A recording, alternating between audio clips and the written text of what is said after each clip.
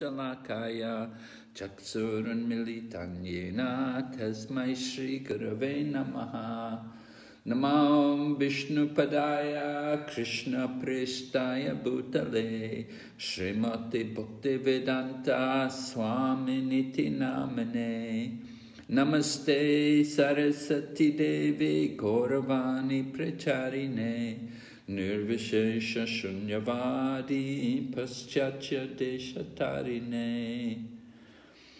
Vanchakalpatarubhyascha Kripa Sindhu Bhayevacha Patitanam Pavanebhyo Vaishnavibhyo Namo Namaha. Jaya Shri Krishna Chaitanya Prabhu Nityananda.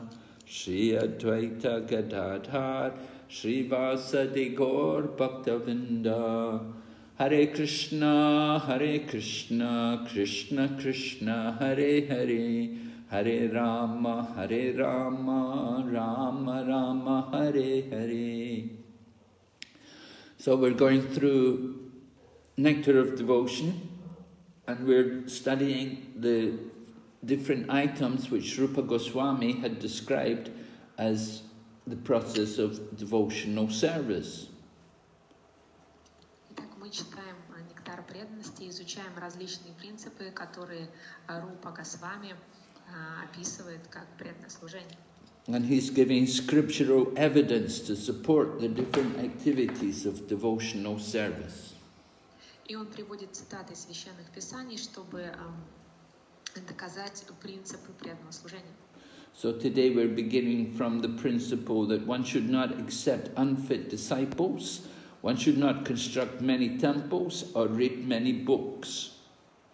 И сегодня мы начнем с принципа, который гласит не принимать недостойных учеников, не сооружать много храмов и не читать много книг. Okay? Read? Yeah, go ahead. Другое ограничение гласит, что человек может иметь много учеников, но при этом должен действовать так, чтобы не оказаться в долгу ни у кого из них за какой-то их поступок или услугу. Также не следует проявлять слишком большого рвения ни к постройке новых храмов, ни к чтению разного рода книг, за исключением тех, которые способствуют продвижению в преданном служении. По сути дела, вполне достаточно внимательно читать Бхагавадгиту, Шримад Бхагаватам, учение Шри Чайтани и эту книгу «Нектар преданности», чтобы узнать все необходимые для постижения науки сознания Кришны. Нет нужды утруждать себя чтением других книг. All right. So, uh, so the injunction is we should not accept unfit disciples. There's no harm in accepting many disciples if they're qualified. But if they're not quali- if you accept unfit disciples, then it's very bad. И здесь запрет состоит в том, чтобы э, не принимать недостойных учеников. Нет ничего плохого в том, чтобы принимать достойных учеников. Но если принимаются недостойные ученики, то это очень плохо. The disciple is the representative of the spiritual master.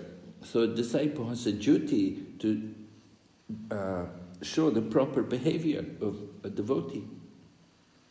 Э, Ученик является представителем духовного учителя, поэтому он должен показывать правильное, учи- э, правильное поведение э, ученика.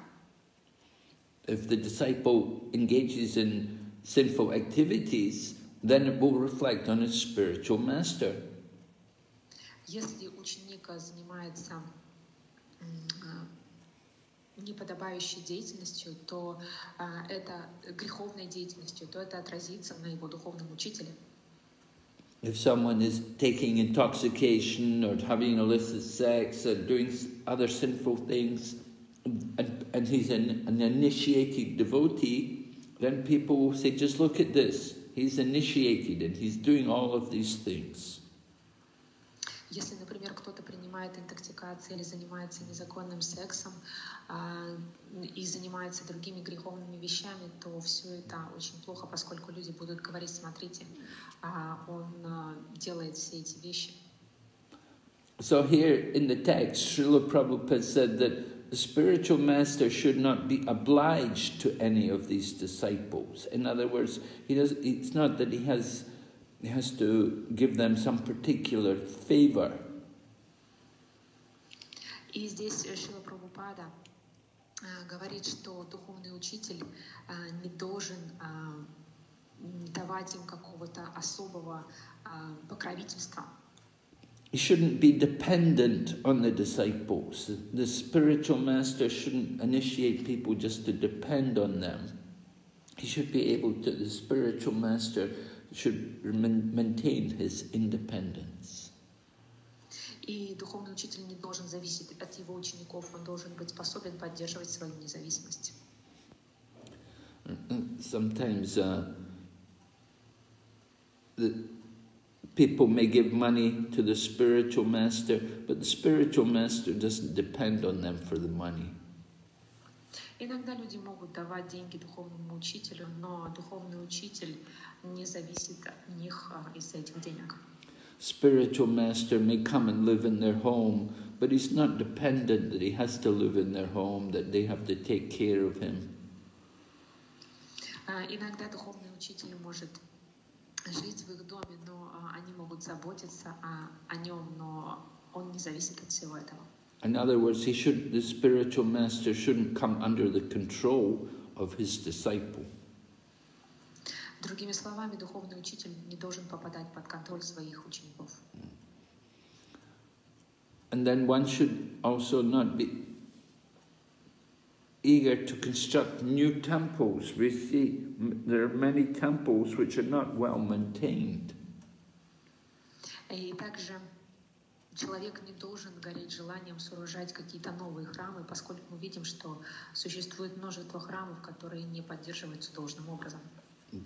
People like to, they like, they feel proud, they open a big temple, they build this big temple, very beautiful, and, and they spend a lot of money, people come and they, they see the temple, but the difficulty is to maintain the temple.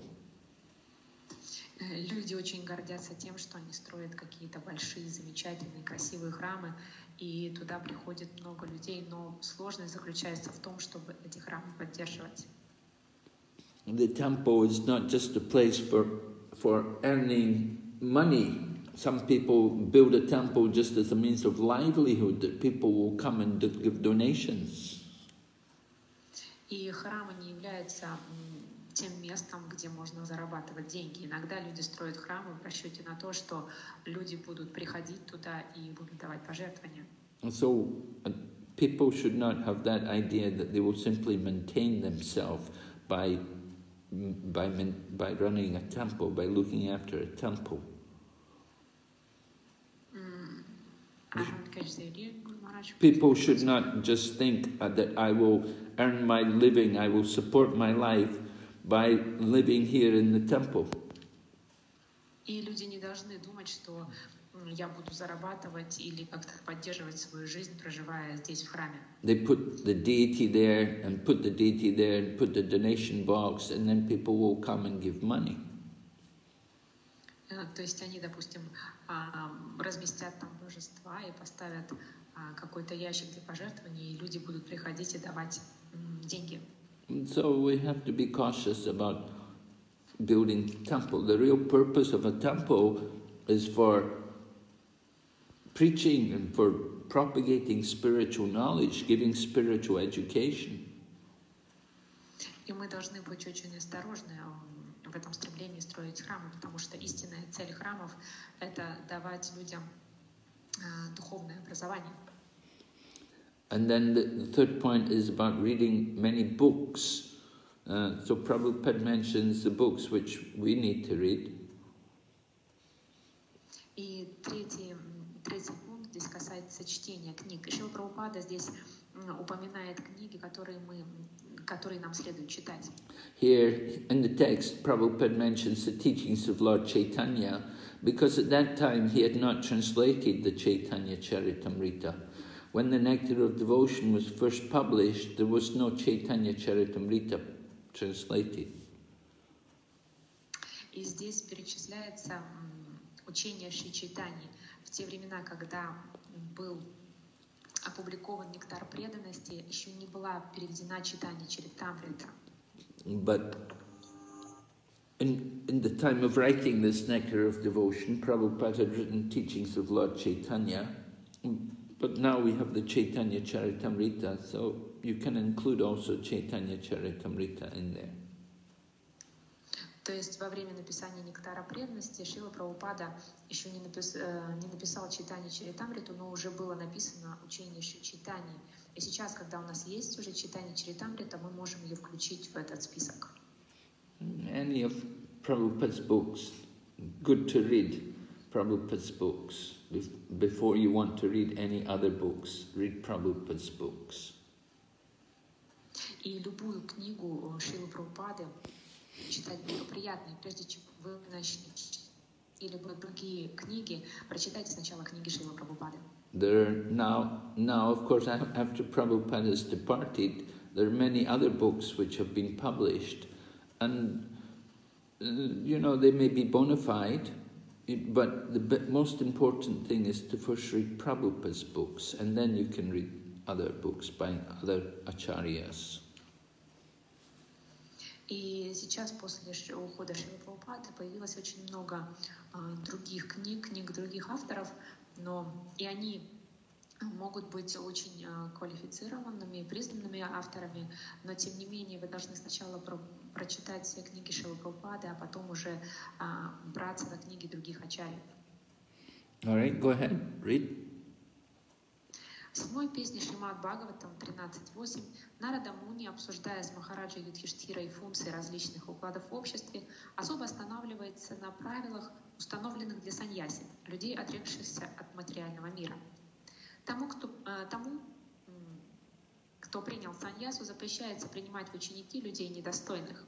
Саньяси сначала должен проверить, действительно ли его будущий ученик искренен в своем стремлении к сознанию Кришны – и если нет, ему не следует давать посвящение. Однако по своей беспричинной милости Господь Читания наказывал всем истинным духовным учителям говорить о сознании Кришны повсюду. Поэтому в движении Господа Читания даже саньяси может говорить о сознании Кришны всюду и всегда примет в ученики того, кто серьезно хочет им стать. So generally, it's the duty of a sannyasi to travel everywhere and give Krishna conscious lectures and preach to people.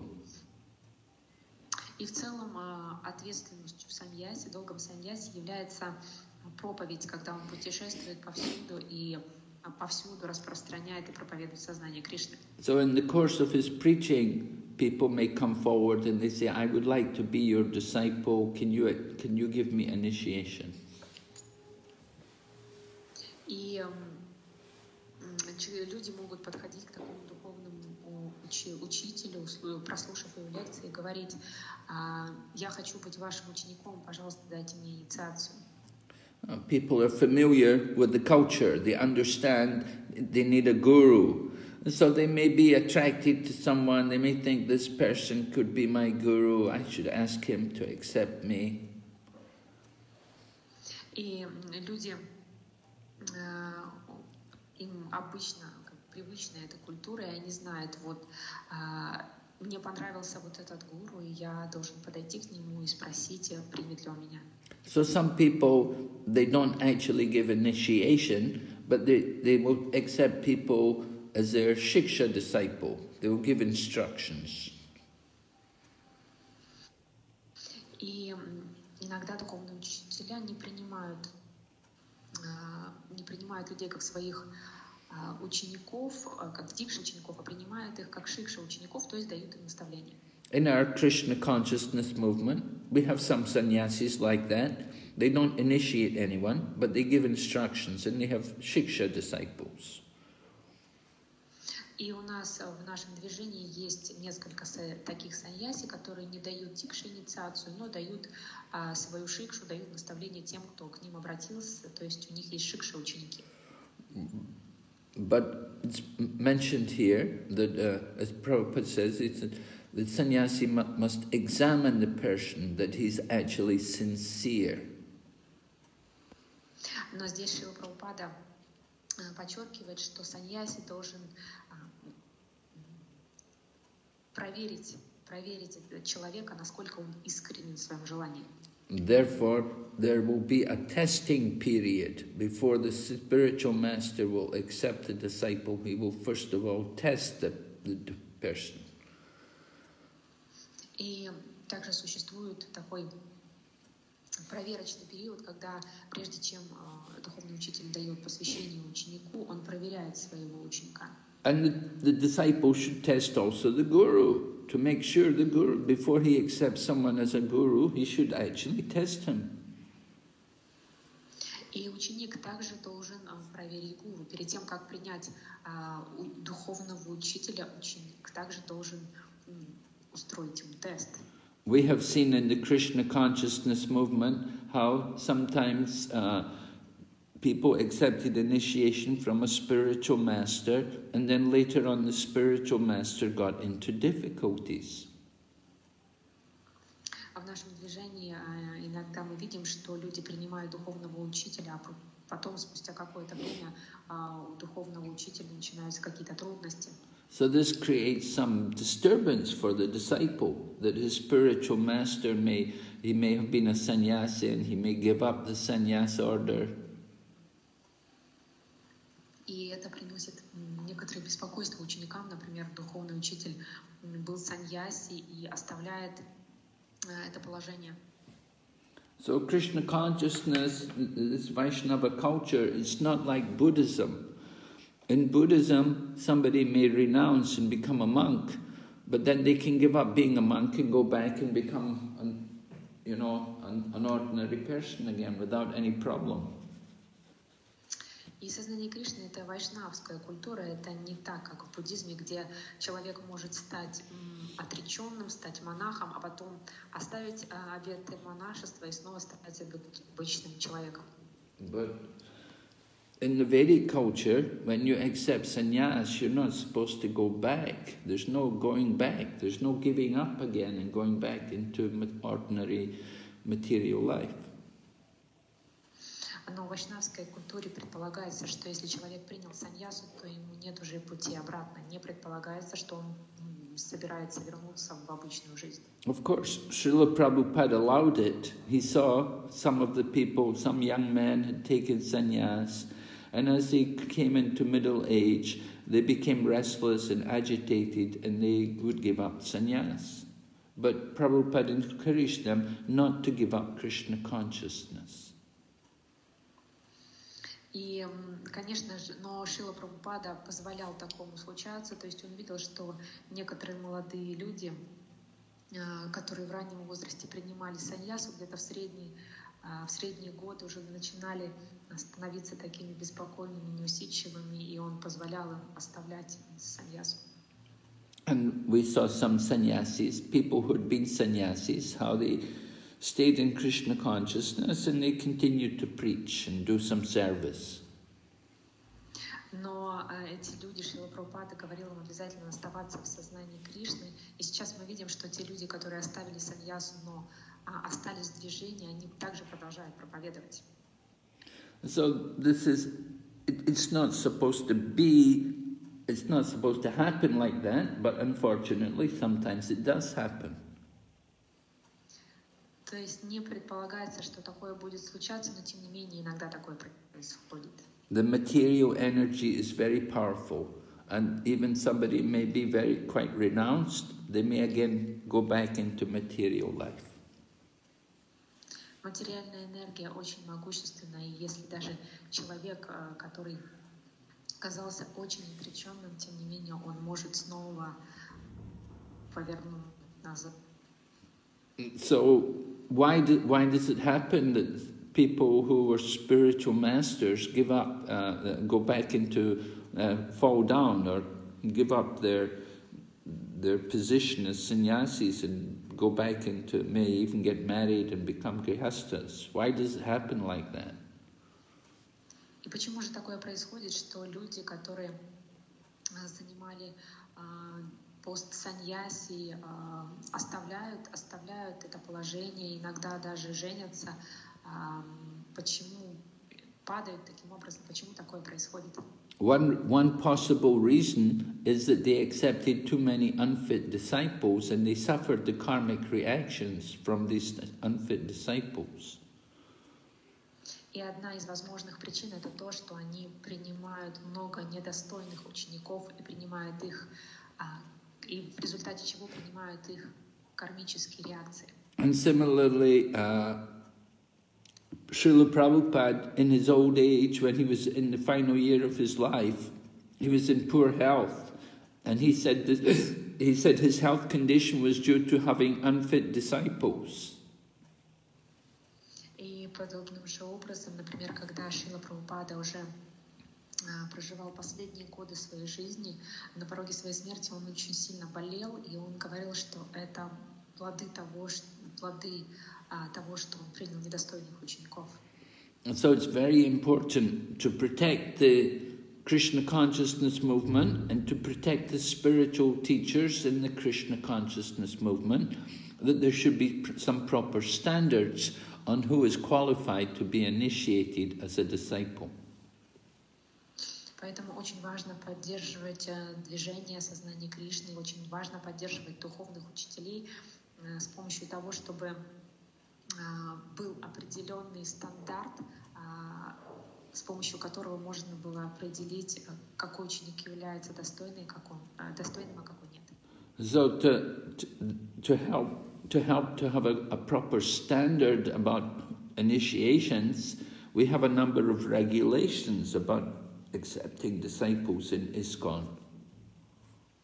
То есть для того, чтобы поддерживать этот стандарт, какому должен соответствовать ученик, есть определенные правила и предписания в Исконе. Things like you have to you have to first of all you have to attend the ISKCON disciple course, you have to have completed that course, and you have to have recommendation from the local temple authorities. Например, человек должен пройти обязательно курс учеников ИСКОН, он также должен иметь рекомендации от руководства местного храма. And you have to have met, you have to have had some uh, interaction with the spiritual master, not for just a day or two, but for a, about a year. И также человек должен иметь какое-то взаимодействие с духовным учителем не день или два, а год. And Srila Prabhupada actually recommends that the process of accepting the spiritual master is that you hear from him for one year and then you're convinced that this person can help me, can guide me. И то, что рекомендовал Шила Прабхупада, это человек должен слушать духовного учителя не меньше, чем год, и затем понять, насколько этот человек может вести меня. And so in this way, then you have a, a, a, when you when all of these principles are followed, then you have a better standard of uh, disciples and of spiritual masters. Когда следует uh, всем этим принципам, то тогда у вас возникают более лучшие стандарты ученичества и uh, более хорошие стандарты духовных, духовных учителей. Go ahead. Есть еще одно соображение. Не увеличивая числа учеников, невозможно распространить культ сознания Кришны. Поэтому иногда даже идя на риск саньяси, принадлежащий к школе читания Махапрабху, может принять в ученики человека, не совсем готового стать им. Но по милости истинного духовного учителя такой ученик сможет постепенно прогрессировать. Однако, если духовный учитель увеличивает количество учеников только из соображений престижа или из желания ложных почестей, он неизбежно пойдет в своем служении в сознании Кришны. All right, so Prabhupada is pointing out that somebody may not be very qualified, but the spiritual master may be very merciful and accept him as a disciple. Здесь Шила Прабхупада говорит, что даже если человек, какой-то человек может быть не совсем квалифицированным, но духовный учитель из милости может принять его как своего ученика. And by the mercy of by that mercy of the spiritual master, although the person was not qualified in the beginning, the person may go on to become qualified. И по милости духовного учителя, даже если этот человек не был квалифицирован в самом начале, он сможет постепенно стать квалифицированным. But if the spiritual master accepts that person as a disciple just for his own name, just to have some honor and distinction that yes, he's my disciple, then it, that will be very bad for the spiritual master, and the spiritual master will, will fall down. Но если духовный учитель принимает ученика из соображений престижа или из желания ложных почестей, и он думает, о, это ученик, вот этот человек будет моим учеником, он, это очень плохо для духовного учителя, и он неизбежно пройдет. So spiritual master has to, that everything depends on the attitude, and the attitude of the spiritual master is also very important. He must have the proper attitude that he genuinely wants to help that person advance, and he's not just thinking about his own name and fame.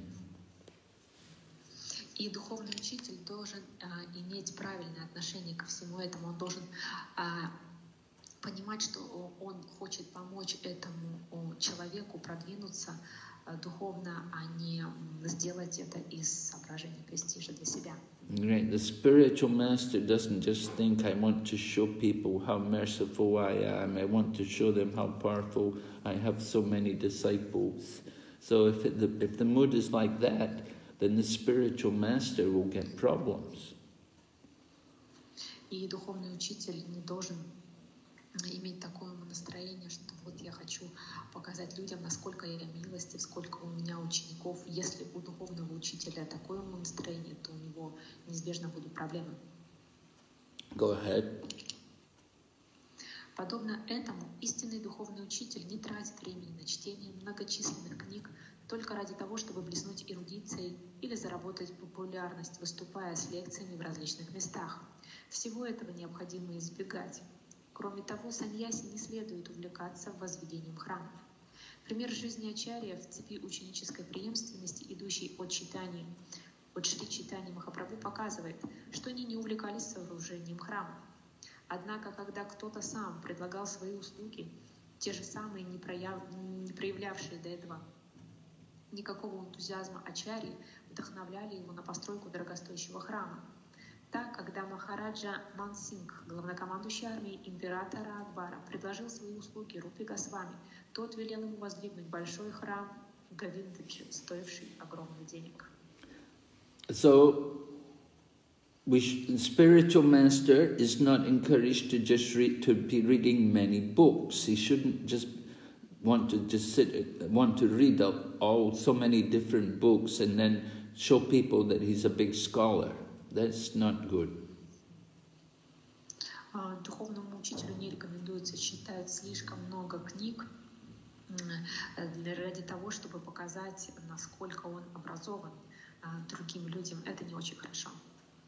And he, he he's not just to be doesn't want to just become popular, make himself popular by going everywhere and giving classes.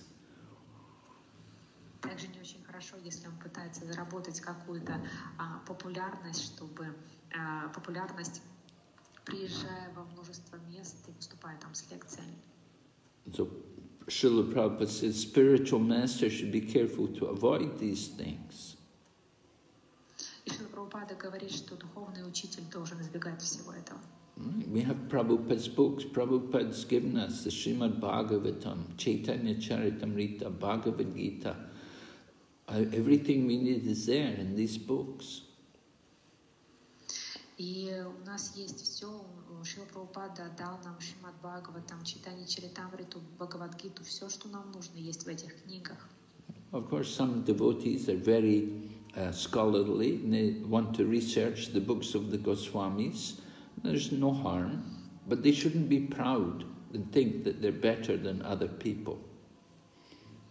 Конечно, некоторые преданные, они очень образованы, очень эрудированы, они могут они читают книги Госвами, в этом нет ничего плохого, но просто они не должны гордиться этим. Then Srila Prabhupada talks about constructing temples. And he says if people come and give the money, there's no harm to build a big temple. И далее Шила Прабхупада говорит о постройке храмов. И он говорит, что если люди приходят и дают а, большие деньги на постройку храма, это замечательно.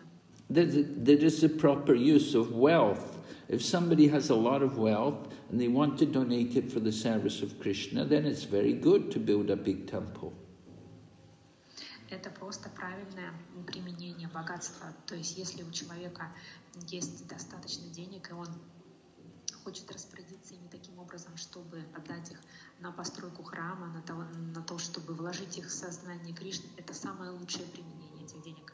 And Prabhupada gives an example about how Rupa Goswami engaged the wealth of a, a great general, this Maharaj Mansingh, a, a, a big man in the army in India 500 years ago. И здесь приводится пример, как Рупа Госвами задействовал то богатство, которое,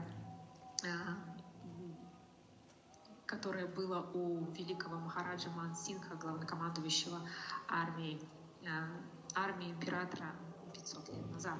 So anybody who's been to Vrindavan and you went to Radha Govinda temple, it's a very big temple. Even now, although they say the Muslims, re they reduced the height of the temple, but even now it's very huge and it must have cost a lot of money.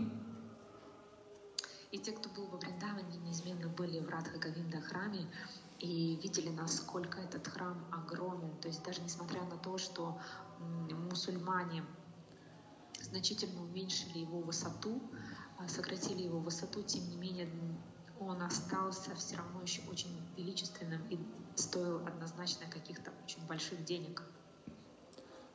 So it's very good to use money in that way to build a nice temple, but also you want to see that the temple can be maintained.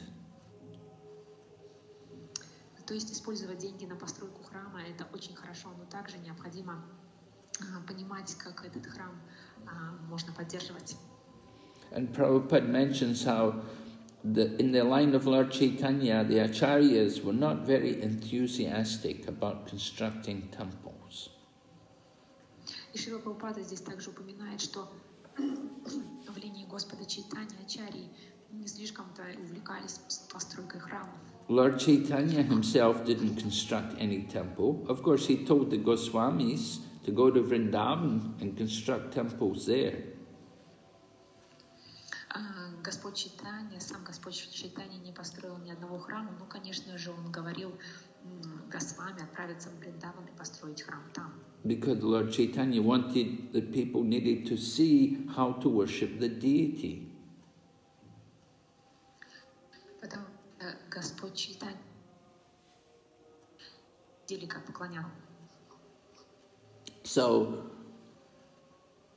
uh, we see here in Mayapur, we're building a big temple, and Prabhupada wants to show everyone how to worship the deity.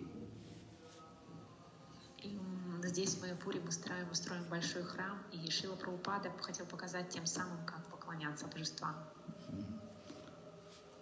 Of, of course, since, since after Prabhupada's departure, many new temples have come up in India for the Krishna consciousness movement. Конечно, конечно, после ухода Шилы Прабхупады в движении сознания Кришны в Индии возникло много новых храмов. And it's the duty of the devotees in the Krishna consciousness movement to see these temples are maintained nicely. И обязанностью преданных в движении сознания Кришны является поддерживать замечательным образом все эти храмы. Go ahead. Таким образом, истинный духовный учитель не должен лично брать на себя ответственность за постройку храмов.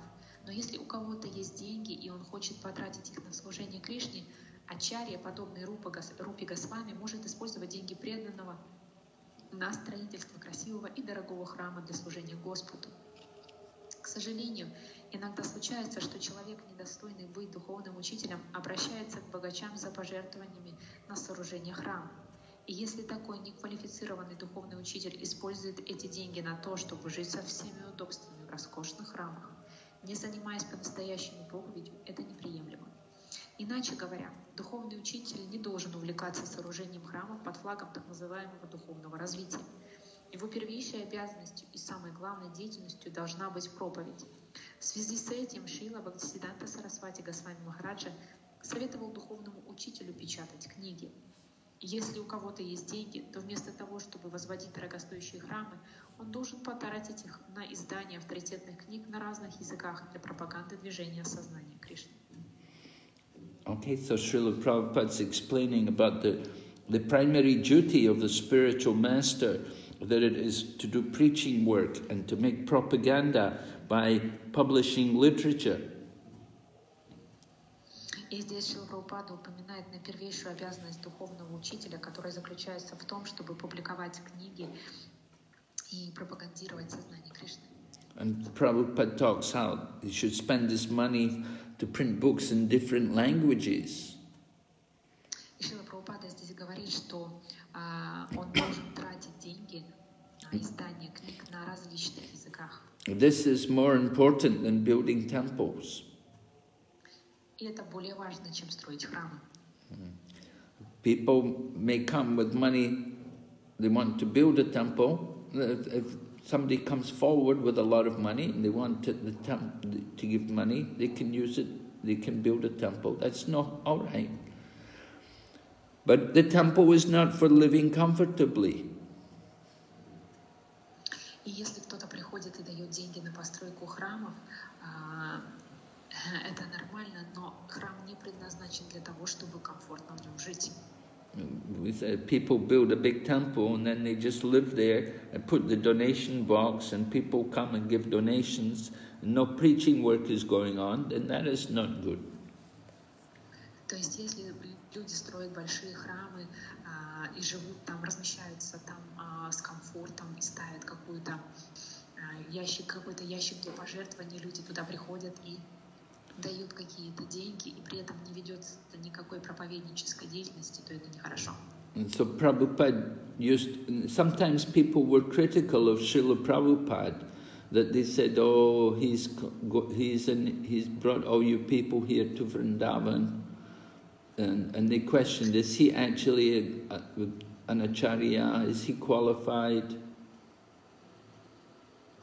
И иногда люди критиковали Шилу Прабхупаду, он привез всех этих людей сюда, во Вриндаван, а является ли он квалифицированным ачарьем тогда?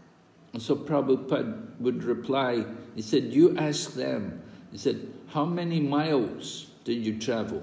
How many miles did you travel for preach? How many books did you preach? How many books did you print? How many disciples did you initiate? These are important things. И тогда Шила Прабхупада отвечал, а сколько миль а, вы а, пропутешествовали, сколько миль вы проехали ради проповеди, сколько книг вы напечатали, сколько учеников вы инициировали. А вот это вот именно правильные вещи. So sometimes people come, you know, they just they come and they, they get money and they build the temple and they just sit there and they don't do any work. They don't travel and preach, they don't go around.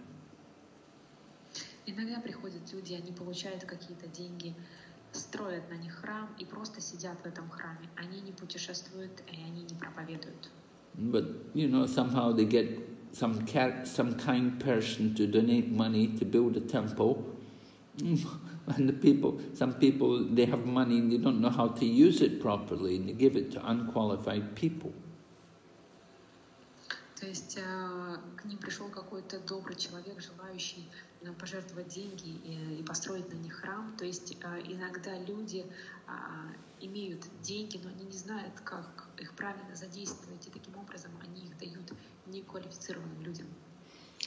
So the, the main point is we're not very enthusiastic for temple buildings, just just for comfortable living. We don't want to think about just comfortable living. It has to be for preaching work. То есть смысл в том, что мы не, не слишком-то испытываем энтузиазм в строительстве храмов а, для того, чтобы а, комфортно там жить, а если только эти храмы не предназначены для проповеди. Build you build a big temple, and people get so much into construction, they've no time to chant the rounds. They never preach. They're just overseeing the construction. Например, люди строят большой храм, и они очень много времени уделяют этому, и у них нет времени а, читать а, свои круги, либо проповедовать. So building temples is not the main work of the devotee. The real work of the devotee is printing books. Таким образом, строительство храмов не является главной работой преданного, а основная деятельность преданного — это напечатание книг. But we don't just print books only for making money. Sometimes people print books just because they can make a big profit on the books and they can get the money and can live comfortably. Но мы печатаем книги не для того, чтобы получить деньги. Иногда люди издают книги ради того, чтобы получить большие прибыли и затем на эти деньги комфортно жить. And so that we have to examine the attitude in which people do everything. Мы должны проверить отношения, с которым люди что-либо делают. Some people understand, oh, books is a good business, and they, they print many books, and they never read the books, and they, and, and they themselves uh, don't practice strictly Krishna consciousness. А, Иногда люди думают, о, печатание, издание книг — это прибыльный бизнес, но они сами книг никогда не печатают. А, So- не читают, не читают этих книг. So we have to be cautious, we have to be careful about everything we do. Поэтому мы должны быть очень внимательны, очень осторожны в том, что мы делаем. Okay, go ahead. А, Next principle. Yeah. А, Следующий принцип.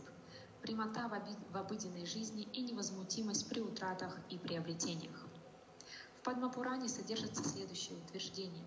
Нематериальные приобретения, нематериальные потери не должны выводить из равновесия тех, кто занят деятельностью в сознании Кришны.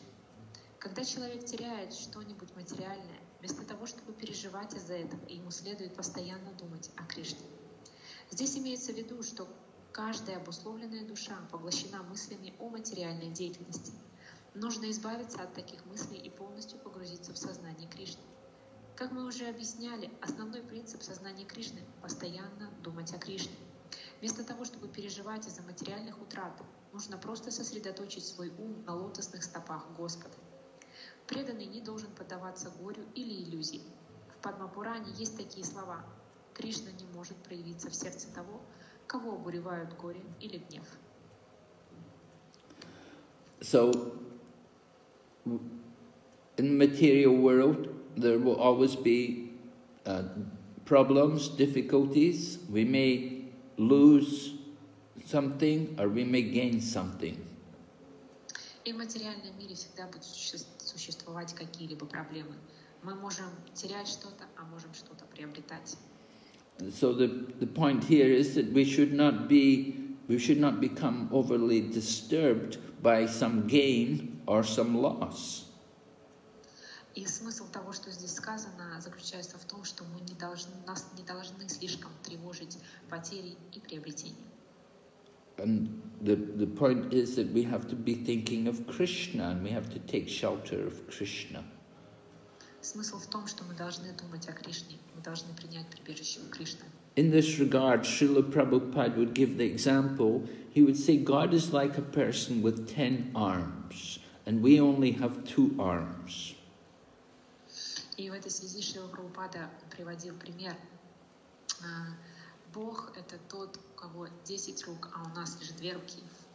So, some, if God with ten arms, if He wants to take something from us, He can take everything.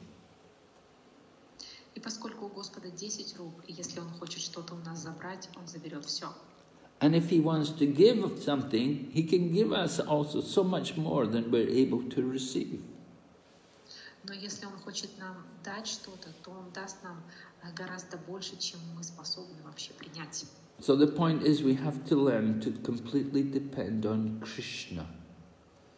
То есть смысл в том, что мы должны учиться полностью зависеть от Кришны. And if for some, if somehow or other something goes wrong and we lose something, and we should not be overwhelmed. То есть смысл в том, что если что-то идет не так, мы теряем что-то, то это не должно нас слишком волновать. Just like sometimes we lose very valuable, very important devotees who are very dear to us.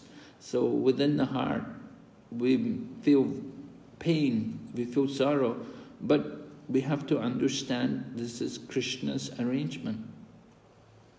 Как иногда мы теряем очень дорогих, а, очень а, возвышенных, ценных, преданных, и в своем сердце мы чувствуем очень большую боль, очень большую скорбь и печаль, но тем не менее мы понимаем, что все это а, план Кришны. Our lamentation our, or our anger at losing something is not the mood of a devotee. А, То есть скорбь и гнев, когда мы теряем что-то, это не является настроением преданного. We want to learn to fix the mind on Krishna. Мы учимся сосредотачивать свой ум на Кришне. In every situation, we have to understand this is Krishna's arrangement. В каждой ситуации мы должны понимать, что это план Кришны. So always bring the mind to focus on Krishna. And this, this of course, this is going to take practice. It's not easy. То есть мы должны фокусировать свой ум на Кришне, но все это требует практики, это не так легко. And, and unless we hear regularly the philosophy of Krishna consciousness, we won't be able to do it. То есть, когда мы слушаем, а, если только мы а, слушаем со- философию сознания Кришны, тогда мы сможем, будем способны сделать это. And we have to hear very carefully. Мы должны слушать очень внимательно. Go ahead. Полубоги. Не следует пренебрегать выражением почтения полубогам. Им не обязательно поклоняться, но это не значит, что к ним можно относиться пренебрежительно. Так, не поклоняясь Господу Шиве или Господу Брахме, Вайшнав обязан оказывать почтение этим занимающим столь высокое положение полубогам. В соответствии с философией вайшнавов нужно с почтением относиться даже к муравью, не говоря уже о таких возвышенных личностях, как Господь Шива и Господь Брахма. В Падмапуране сказано, Кришна Хари, владыка всех полубогов, и поэтому и потому он должен быть объектом всеобщего поклонения. Однако это не значит, что нам не следует оказывать почтение полубогам. So sometimes devotees are, they don't give proper respect to the demigods. We think, no, I only worship Krishna, I don't worship these demigods. Shiva, Ganesh, Uma, we, we're not very much respectful for them. Иногда преданные а, не оказывают э, должного почтения полубогам. Они думают, э, я, я поклоняюсь Кришне, и а, мы не оказываем почтения, допустим, Шиве, Уме или Ганеше. But we know there are people who are devotees of the demigods. There are many, Shi- in fact, the devotees of Lord Shiva are more than the devotees of Lord Krishna.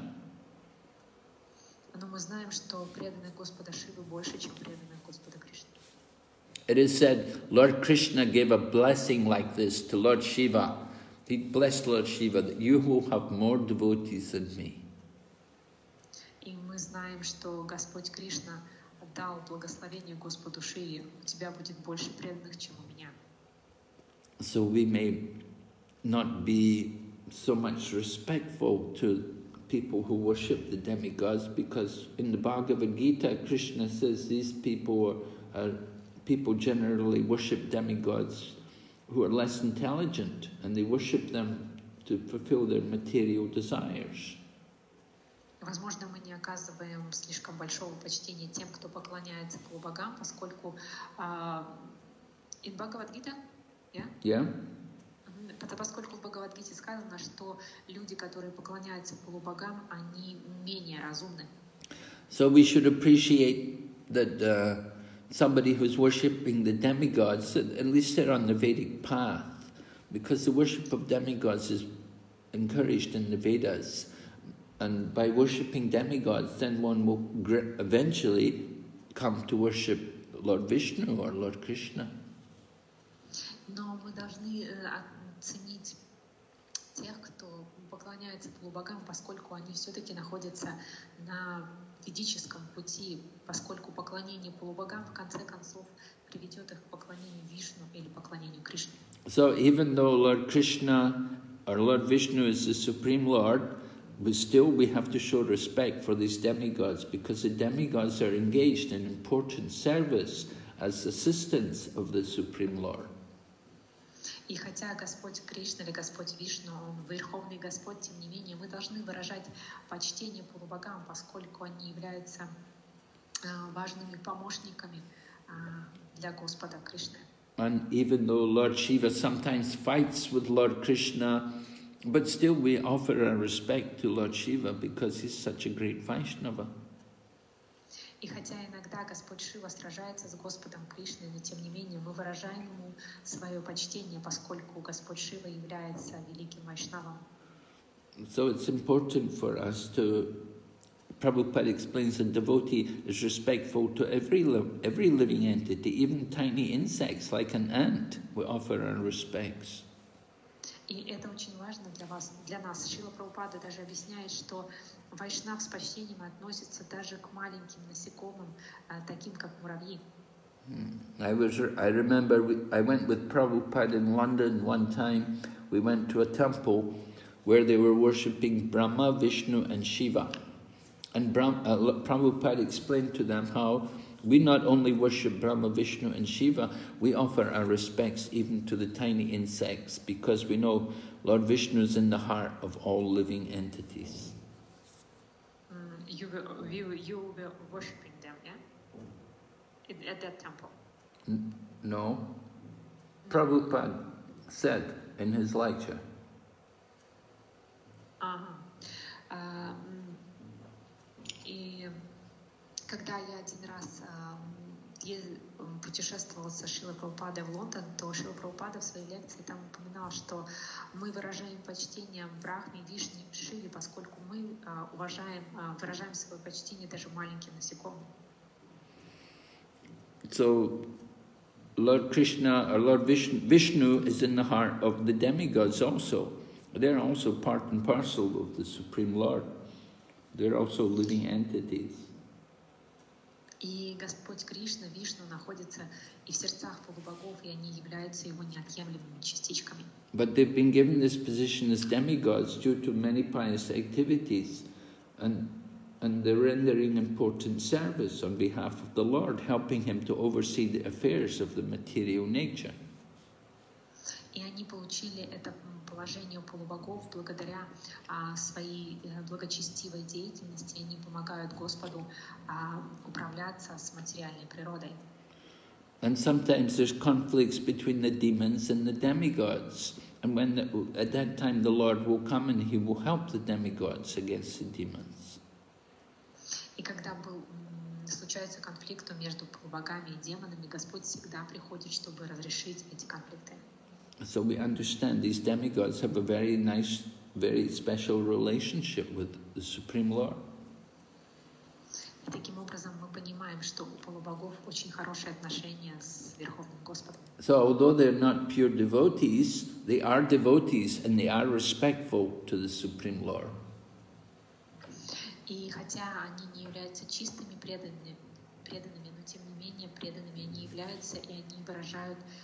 ам, почтение Верховному Господу. And certainly some of the demigods are pure devotees, like Lord Brahma and Lord Shiva.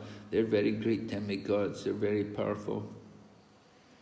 Но, конечно же, некоторые из них являются чистыми преданными, например, а, Господь Брахма и Господь Шива, они а, великие преданные, они очень могущественны. Okay, go ahead. We'll just Следующий принцип – не причинять боли ни одному живому существу.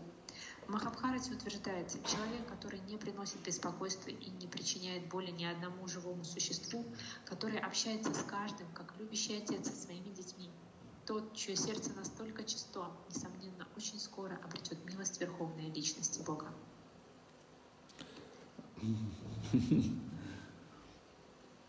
All right, so is is it from the Mahabharata that we should learn to be careful in our dealings with other people. То есть из Махабхараты мы можем научиться тому, чтобы быть очень э, внимательным м, к своим действиям по отношению к другим людям. Right? Devotees, we want to practice ahimsa, non-violence. And one way in which we can be violent is by giving pain to others. И мы преданы, и мы практикуем а, ахимсу, ненасилие, и способ, которым мы можем а, навредить а, какому-то, а, причинить боль какому-то живому существу, это нас- насилие.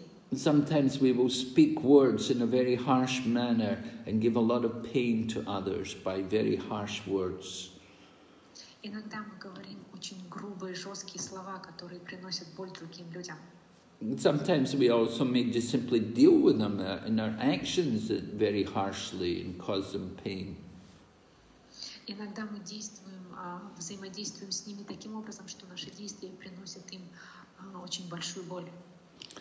But here, from the Mahabharata, we're told that we should deal with everyone just like a father takes care of his children. Но здесь в Махабхарате говорится, что а, мы должны вести себя с другими людьми так, как любящий отец общается со своими детьми. And when we deal with them in this way, with them, it's very pleasing to Lord Krishna. This is one way in which we can please Krishna.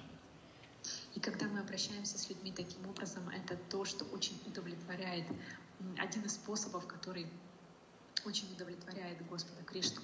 And So, so we want to be very conscious about how we deal with other people. То есть мы должны быть очень осознанными, когда мы взаимодействуем с другими людьми. Having friendly relationships is very important. Э, Дружеские отношения очень важны. Mm, We want, we want to have this uh, feeling of uh, genuine caring for others' welfare, to see that they're uh, peace, peaceful and happy.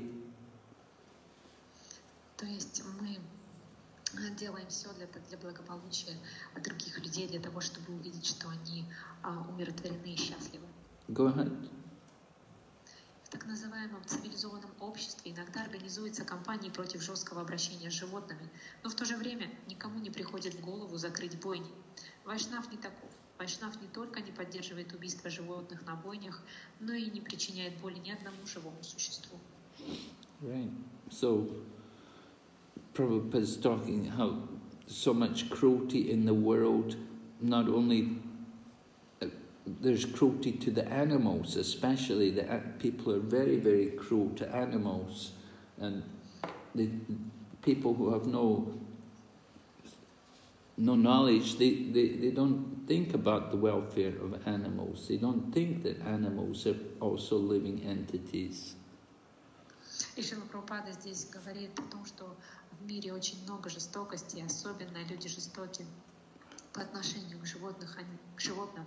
Они не думают, что это тоже живые существа. They think animals don't have any soul, or they think the soul in the animal is different from the soul in the human. Они думают, что у животных нет, нет души, либо они думают, что душа животных отлична от э, человеческой души. And they think this is, this is why they're justified to just kill the animals and to eat them and to be cruel to them. Исходя из этого, они позволяют себе а, убивать животных и быть жестокими с ними. Mm, We see people, they're so kind to their dogs and they're so cruel to cows. Мы видим, что люди так милы с собаками, но так жестоки с коровами. Mm, They'll have their dog in their house and sleep on their bed, and they have their dog, they'll take their dog for the walk, and they have to clean up after the dog. When the dog passes through here, they will clean up after the dog, but at the same time, they'll eat the cow, kill the cows. То есть собака может жить в их доме, может спать рядом с ними на кровати. Они кормят эту собаку, они убирают э, за ней за ней отходы ее жизнедеятельности, но в то же самое время они убивают и едят коров. So, because people are killing cows, that is why the duration of life of people in the Kali Yuga is so low. People don't live very long because we kill so many cows. И поскольку люди убивают коров, продолжительных, и продолжительность их жизни в Кали-югу очень мала.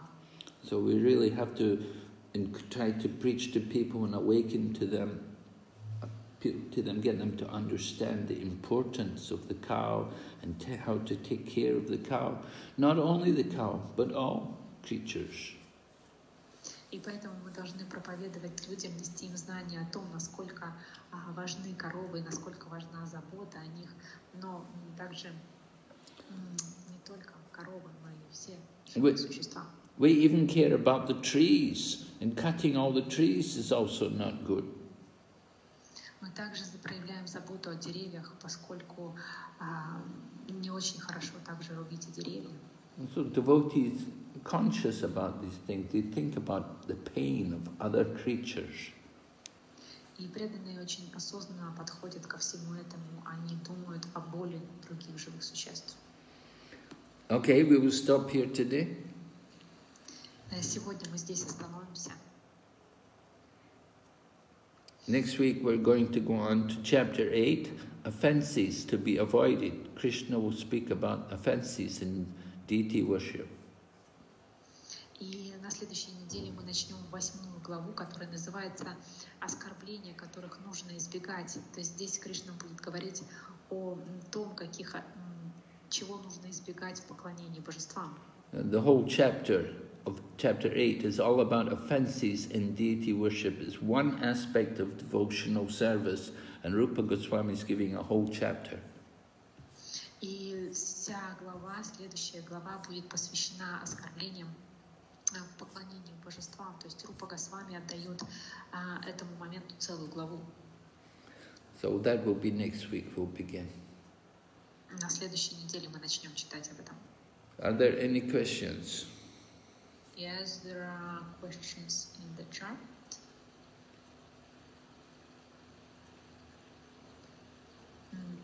Харе Кришна, Гуру Махарадж, дорогие преданные, примите мои смиренные поклоны. Гуру Махарадж, я часто слушаю ваши лекции для преданных из Китая, Индии, Таиланда, из Непала и так далее. Преданные там обычно не спрашивают о проблемах, связанных с косвенной проповедью. Они не рассказывают, например, о том, что проповедники предлагают им лекции о лидерстве, о том, как стать богатым и о, счастлив... о счастливой семейной жизни.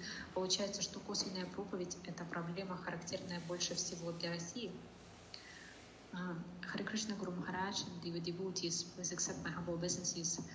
Uh, Guru Maharaj, I often listen to your lectures for devotees from China, India, Thailand, Nepal, and etc. And the devotees there usually don't ask about problems associated with indirect preaching. They don't tell us, for example, that preachers um, offer them lectures on leadership or how to become rich and uh, lectures about a happy family life, it turns out that um, indirect preaching is the problem that is most uh, characteristic of Russia.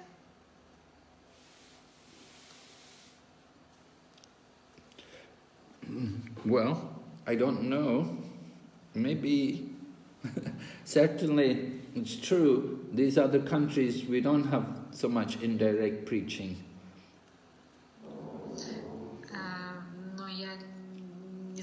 наверняка, но, конечно же, есть страны, которых не слишком распространено такая, не слишком распространена косвенная проповедь.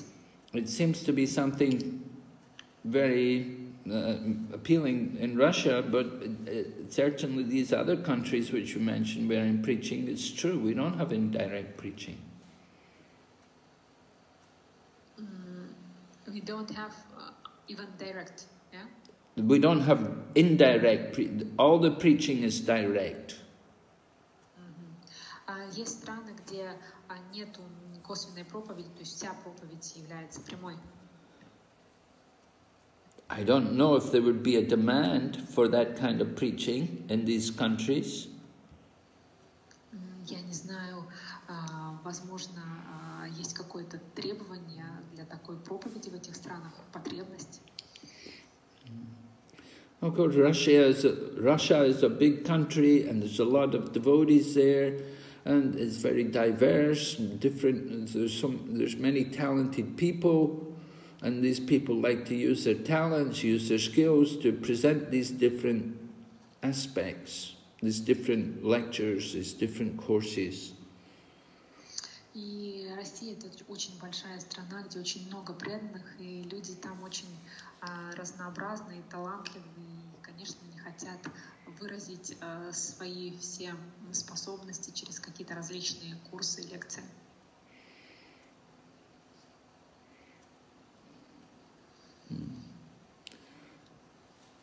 These uh, uh, I don't know. Uh, is it created? Does it create a problem for the devotees that they have all? They have many indirect courses. Is it? Is it a big deviation from their Krishna consciousness?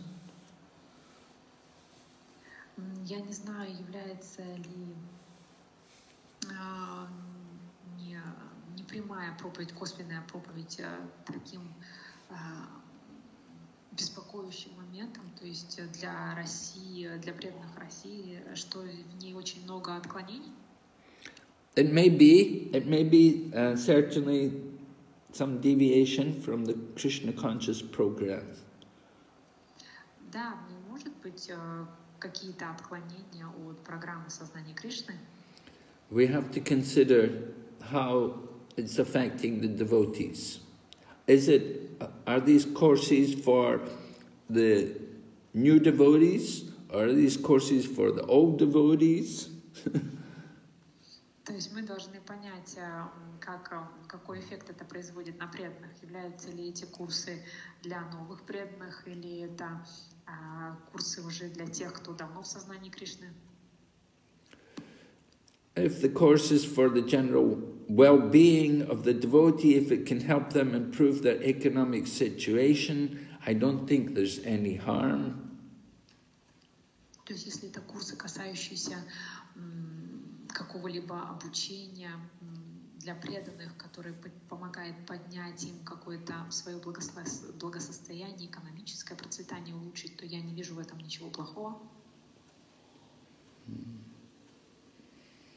And sometimes people may give some course on astrology, how to understand the ast- astrological chart and the influence of the different planets. Иногда люди могут э, проводить какие-то астрологические курсы, то есть как понять э, влияние планет а, в картах. But it certainly affected. Uh, Russia is unique in that sense that you have all of these varied, different presentations going on. You have uh, people going around with the psychological, the psychology program, presenting how to help you know people in their family life or their material situations. А, Конечно, Россия очень уникальная страна, у вас очень много курсов а, по различным дисциплинам, например, а, также и по психологии, то есть как помочь людям в их семейной жизни или в экономических каких-то проблемах. We don't see this in other countries. М, Мы такого не встречали в других странах. I don't know how it is in Europe and in, and in America. Maybe, I think in, in the Bhaktivedanta manner in Europe and England there, they do have a number of varied courses. They do have these different things going on. Не знаю, как с этим дела обстоят в Америке и в Европе, но я думаю, какие-то такие подобные курсы Бхактивиданта Мэннер проводит. It depends a lot on what kind of congregation you have and, you know, how, what is the interest of the congregation. Это во многом зависит от того, какое общество, какое общество вас окружает, то есть какова община в целом, и от этого зависит уже тема. But there's also an economic law supply creates demand. and if you suppo- when you have these kind of courses, then you get people interested. М, То есть также есть экономический ну, закон, а, спрос рождает предложение, да? То есть э, мы можем основываться на этом. So what can we say? Each, each, you know, each different country, different community of devotees, they have their own individual characteristics. Что мы можем сказать по этому поводу? Так это то, что каждая страна, каждое общество преданного, преданных имеет свои собственные индивидуальные какие-то характеристики, особенности. You know, there are there are four varnas. There are four different varna. There's we have Brahmins, we have Kshatriyas, we have the Vaishyas, we have the Sudras. They all have different needs, different things they want. And so there's there's arrangement to provide according to their needs. И существуют различные варны, кшатрии, браманы, кшатрии, вайши и шудры, и, соответственно, у всех у них различные шудры, и мы просто пытаемся дать им то, что им нужно. Krishna consciousness is meant for cultivating pure devotion, but not everybody is so much eager for pure devotion. Конечно, движение сознания Кришны предназначено для того, чтобы развивать чистую преданность, но не все в этом заинтересованы.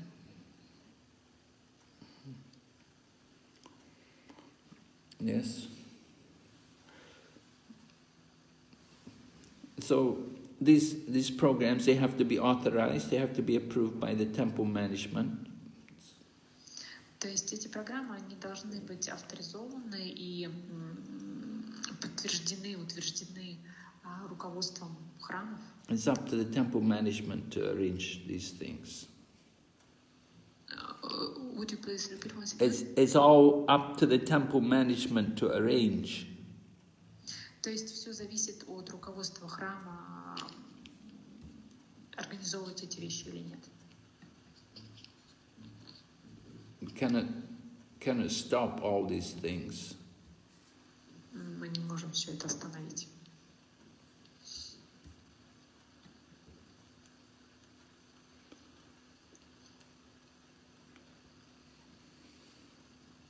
If there were no, if there was no demand, then maybe they wouldn't have these courses. And that's you want. If you don't like it, then don't go and attend. То есть, если нет спроса на эти курсы, то их и не будет. То есть, если вам не нравится, то и не ходите туда. Another question. Следующий вопрос. Раджарани Матаджи, вы хотели?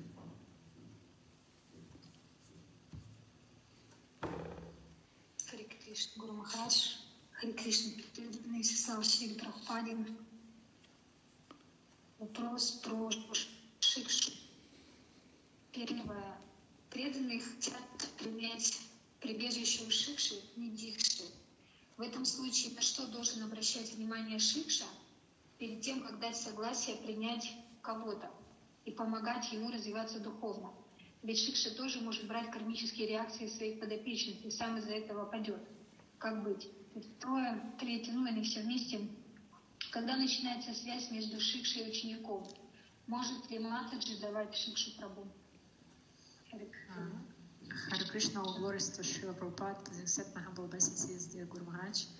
Um, just uh, Mataji uh, wants to know about the rules uh, for accepting Shiksha, uh, Shiksha students, Shiksha disciples. There, is, there are three questions. Now, the first one is if the devotee want to take shelter over shiksha, not not addiction, uh, in this case, what should the shiksha um, pay attention to before agreeing to accept someone to help him develop spirituality? Because the shiksha can also take the karmic reactions of uh, um, his disciples and he himself will fall because of because of it.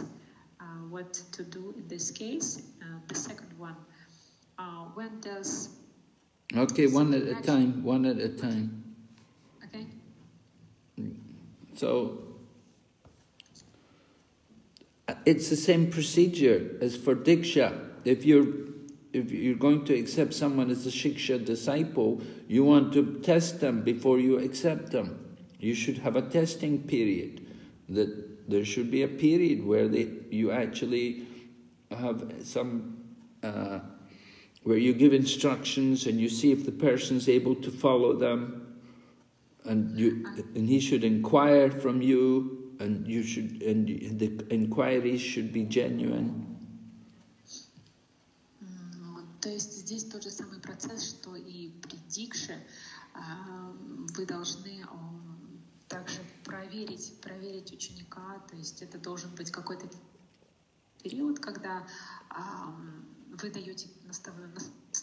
человек дает наставление, и ученик и смотрит, насколько ученик их выполняет, насколько это период, когда ученик задает вопросы, а учитель смотрит, насколько эти вопросы искренни. Mm-hmm. The second question. Uh, when does the connection between the shiksha and the disciple um, begin? Well, it begins from the time then when you, in your mind, you accept him as your Shiksha Guru. You have to accept, and he has to agree to accept you as a Shiksha disciple. Второй вопрос, когда начинается связь между Шикшей и учеником, и Махарадж говорит, что она начинается в тот момент, когда вы в своем уме приняли Шикшу, а он в своем уме принял вас как ученика. Mm-hmm. One? Yeah. И третий вопрос. Может ли Матаджи давать шикшу Прабу? Can Mataji give shiksha to Prabhu? Well, if they're very, very advanced Matajis, but it's not encouraged. То есть это могут быть какие-то очень-очень возвышенные, продвинутые матаджи, но вообще такого к этому не призывают. We know some Mataji's in the past, in our line of disciplic succession, there were ladies who were spiritual masters. И в нашей ученической преемственности в прошлом были матаджи, которые были духовными учителями. So they were very advanced, very, very special ladies. They were not ordinary ladies. И они были очень-очень возвышенными, то есть это были необычные женщины. So if somebody, if some Mataji is particularly qualified, she should not be young. То есть это может быть та матаджи, которая особо квалифицирована, она не должна быть молодой. And she's very, very fit, stick, very steady in her Krishna conscious practice. Then she may, then some man who feels inspired that way, he may take instruction. и она должна быть очень стабильна в своей духовной практике. И если есть какой-то мужчина, который воодушевлен всем этим, то он может брать у нее наставление. Mm-hmm. Yeah. Any more? Yeah. Next question from another person. Yeah. Yeah. From the chat. From the chat. Хари Кришна Гуру Махарадж, как преданным правильно относиться к, привив, к прививкам от коронавируса, можно ли их ставить? Хари Кришна Гуру Махарадж. Question is, uh,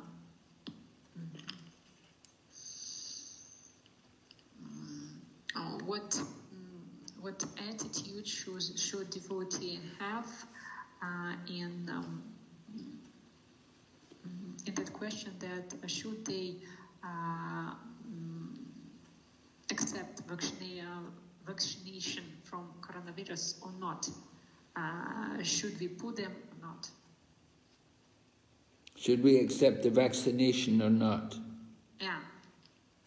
Well, it's up to every individual for themselves to decide this. I'm not going to tell you what to do.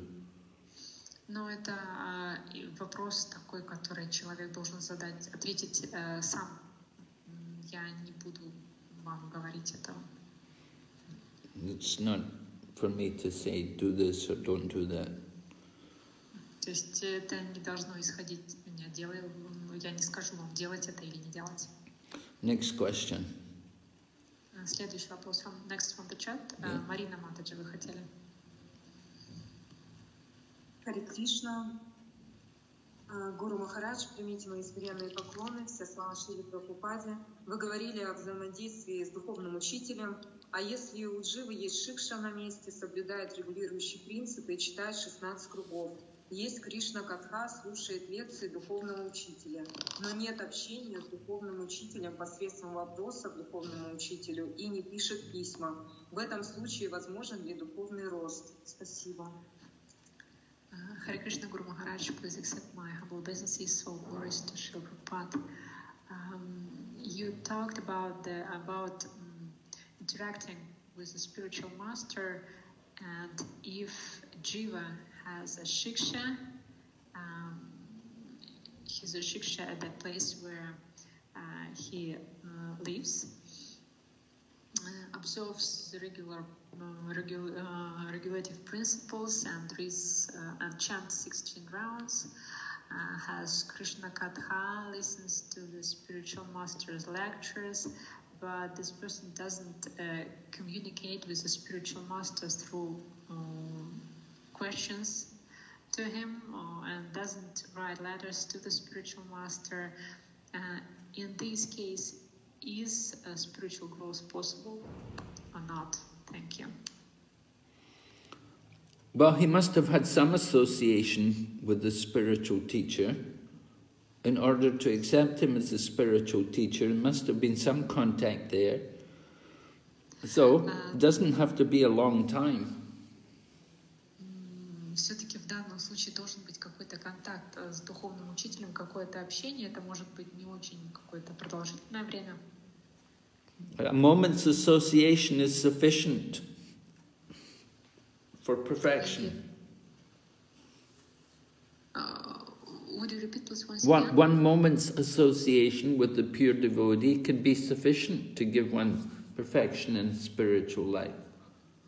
И достаточно одного мгновения общения, общения с чистым преданным, чтобы получить совершенство а, в духовной жизни, It will, достичь совершенства в духовной жизни. it will depend on the spiritual teacher and on the disciple, how genuine and how qualified they are.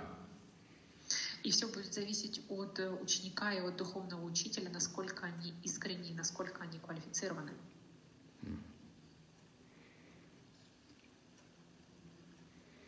But it's possible. Но это возможно. Yes? Next question. Yes? А, Следующий вопрос из чата. Хари Кришна, Гуру Махарадж, на курсе ученик в Искон нам говорили, что к Дикша Гуру нужно обращаться с вопросами, касающимися в основном самада гьяны. А личные вопросы лучше задавать старшим преданным в храме, которые хорошо знают ситуацию каждого преданного и поэтому могут ему подсказать конкретное решение проблемы. В других странах, насколько я слышу, преданные действительно обычно задают вопросы по шастрам и философии. Однако преданные в России часто задают Махараджам вопросы, касающиеся их личной практики, типа а, «Гурудев, я не могу рано вставать, что мне делать?» или «Я не чувствую вкуса к чтению, мне скучно читать шастры, помогите мне», «Я не хочу выходить на Санкиртану, где мне взять энтузиазм?» и так далее. Получается, это тоже типично российский подход, и все личные проблемы а, Получается, что то, это тоже типично российский подход, все личные проблемы приносить Гуру Махараджу. Спасибо. Кришна Гуру Махарадж. Um, in uh, the ISKCON disciple course, we were told that uh, the Diksha Guru should be approached with uh, questions that uh, relate um, mainly to Samvada Gyan. And personal questions are best asked by um, asked to senior devotees in the temple who are well, uh, mm, who are well aware of each devotee's situation and can therefore suggest a specific solution to their problem. Uh, in order, in other countries, as far as I um, I've heard, it is um, indeed common for devotees to ask questions about the shastras and uh, philosophy. However, devotees in Russia often ask um, Maharajas um, such questions, like questions about their personal practice, such as uh, Gurudev, I can't get up early, what should I do? Or I don't feel like uh, mm, I don't feel any taste to chanting, uh, and um, uh, mm, mm, mm. I don't uh, feel a taste to reading the books and I'm very bored when I'm reading Shastras. Please help me. Uh, I don't want to go to some kirtana where I can get it enthusiasm and etc. Uh, so that um, all these things is also a typical Russian approach uh, just to bring all personal problems to Guru Maharaj. Is it so? Thank you. Well, it's not only in Russia that happens, it happens in many other places also, these kind of questions. Такие вопросы задаются не только в России, но во многих других местах. What to be done? What can be done? We have to encourage this, the devotees. And sometimes these personal problems, if the, if the spiritual master can give some guidance, it can help them. Но что мы можем сделать, это если у человека есть какие-то личные вопросы, если духовный учитель может помочь ему в этом, то он направ- направляет его, он должен направить его.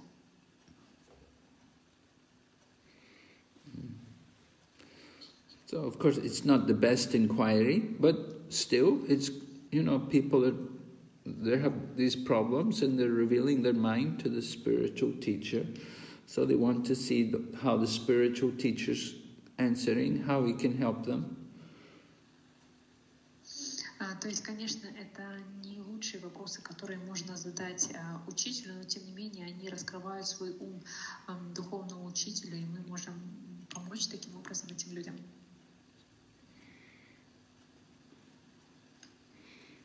It's, it's a culture. People have this habit. What can be done? Такова культура, у людей есть такая привычка, что тут поделаешь. The new devotees, they haven't got a lot of philosophical understanding, so they have these kind of questions.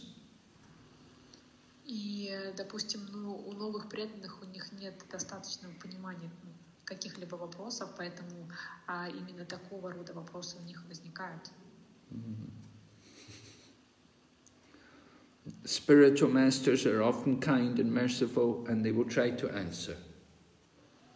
Духовные учителя, они всегда добры и милостивы, поэтому они всегда пытаются дать ответ. Okay. Another question? Another question from the chat.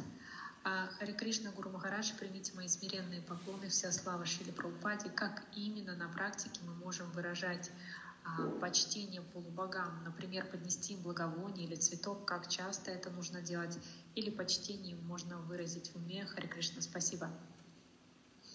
Uh, Hare Krishna Guru Maharaj, please accept my humble obeisances, all glories to Srila Prabhupada.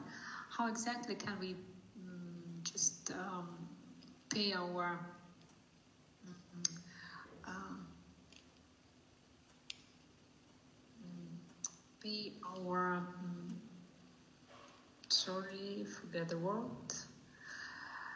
Um, how we can uh, just give our respect to demigods, uh, how we can do it exactly. For example, to just offer them with uh, incense or flower, and how often we should do this, or is it possible to pay just to give them respect in our mind? How to do this. All right. Yeah.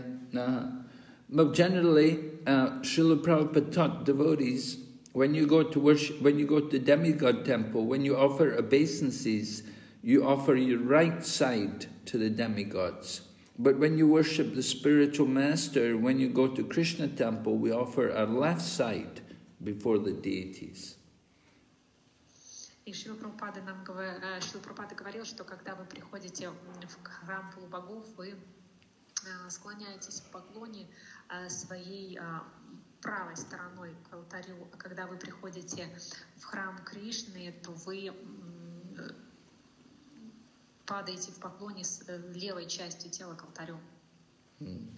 So that's one point, you offer the basin. Other point is, uh, you, you, as you say, you can offer incense, flowers, yeah, no harm. Но если вы хотите предложить им благовоние или цветок, в этом нет ничего плохого. And you can pray to the demigods, please, please bless me, I can develop love for Krishna. вы можете молиться полубогу, а, пожалуйста, помоги мне развить свою любовь к Кришне. Yeah. Okay. Next question. Next question. А, Лена Матаджи, вы хотели задать? Да. Хари Кришна, дорогие преданные, Гуру Махарадж, примите, пожалуйста, мои поклоны. Я хотела спросить, вот что с одной стороны нужно стать достойной ученицей для инициации, а с другой можно всю жизнь становиться достойной, так и не стать. Как такому преданному, который считает себя недостойным, строить свою духовную жизнь? Хари Кришна. Hare Krishna Guru Maharaj, please accept my humble obeisances. Uh, the question is um, on, the, uh, on the one hand, uh, you need to become a worthy uh, disciple for initiation, and on the other hand, you can become worthy. Um, um, just you can do it all your life, and uh, in the end of life, you even um, will not become worthy disciple.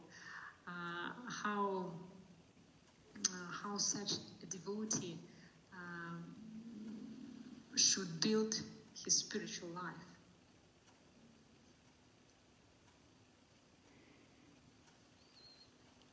But He, he, they don't they don't get initiation, is it? Yeah, just uh, Mataji, just uh, the question is, I uh, I try to to be a worthy disciple, uh, to to take initiation, and on the other hand, uh, I can all my life try to to be to be such a good uh, disciple, such a good person, but uh, um, in the end of, of my life, I even I can, I will not become uh, such a good devotee. So how how I should uh, build my spiritual life to become a worthy a worthy, a worthy disciple? Well, you have to follow the order of the spiritual teacher. М, Вы должны следовать э, приказам духовного учителя. If you want to become a, wor- a worthy disciple, is one who will try to follow the order of the spiritual teacher. И э, достойный ученик, он всегда пытается следовать наставлениям, следовать приказам духовного учителя. And just like the spiritual teacher will say, you must strictly follow the four regulative principles. And you must chant six, 16 rounds. Например, духовный учитель может сказать, «А, ты должна строго следовать четырем регулиру- регулирующим принципам и читать 16 кругов. So you, you have to try to do this. You have to dedicate yourself and to do this throughout your life. То есть вы должны пытаться делать это, вы должны посвятить всю свою жизнь этому. So if you dedicate yourself in that way, then at the end of life, the spiritual master will make sure that you go back to Godhead. И если вы ам, действуете так всю свою жизнь, вы посвящаете полностью себя этому, тогда в конце жизни ваш духовный учитель может сказать, что вы вернетесь домой к Богу. And Krishna will be so pleased that Krishna will come personally to take you back to Godhead. И Кришна будет очень удовлетворен и самолично придет, чтобы забрать вас к Богу. So this is the idea that you dedicate your, your life, that the order of the spiritual master becomes the life and soul of the disciple. А в этом вся суть, что а, ученик посвящает себя настолько духовному учителю, что тот становится его душой и жизнью.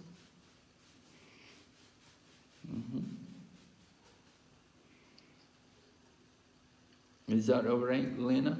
Elena?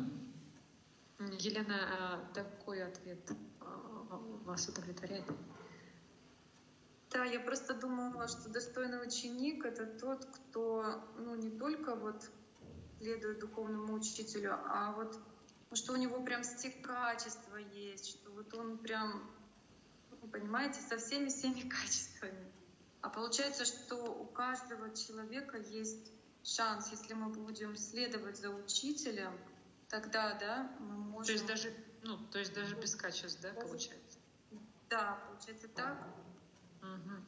Just uh, I thought that uh, worthy, worthy disciple, it means that he not only follow uh, the orders of spiritual master, but he has all the proper qualities.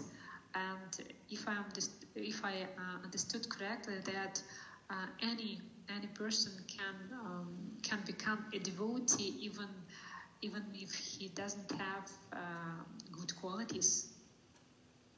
Yes, yes, it's true. But be- because they become a devotee, they will naturally, gradually develop the good qualities. Да, вы все правильно поняли. То есть, э, ну, когда человек становится преданным, он естественным образом постепенно обретает хорошие качества. Certainly, before we become devotees, we don't have good qualities, but gradually, by practicing devotional service, simply by following these instructions, gradually we develop good qualities.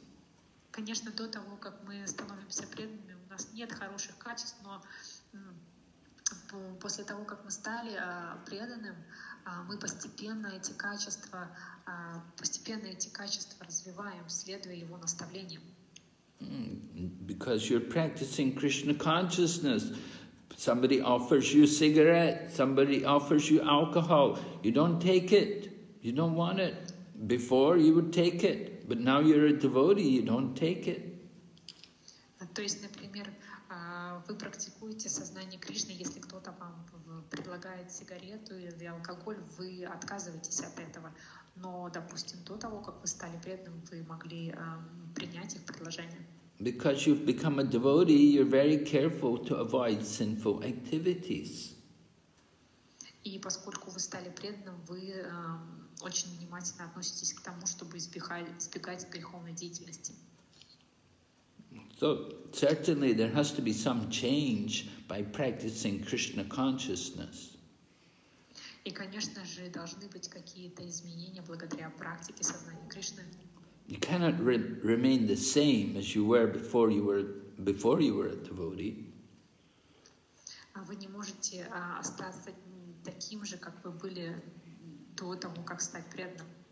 You know, before you were a devotee, you're wearing a mini skirt and you're wearing these different clothes. But you become a devotee, you wear a long dress. You don't show your body the same. Например, до того, как вы стали преданы, вы носили какую-то мини-юбку, какую-то еще с- другую одежду, а после того, как вы стали преданы, вы уже нам- носите э, какие-то длинные одежды, которые закрывают ваше тело. And so there are, there must be changes in the life of a devotee. В жизни преданного должны наступать изменения. As we go on in Krishna consciousness, then naturally we become more dis, we become less and less interested in the material life. И чем больше мы становимся преданными, тем меньше мы становимся заинтересованными в материальной жизни. So the, the change has to come. It may take time, but as we practice, if we practice sincerely, these changes will come. И эти изменения придут с течением времени, если мы а, искренне практикуем.